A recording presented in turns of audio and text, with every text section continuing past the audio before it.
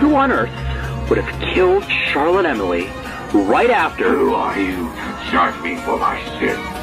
You are who saved yourself. None of this would have happened if you hadn't slaughtered. Who, Norman? The son you had every intention of killing since the minute he replaced Elizabeth?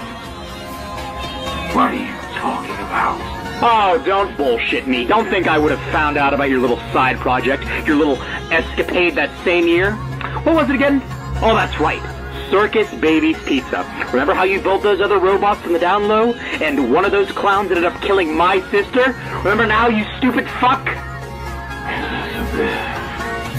That's right.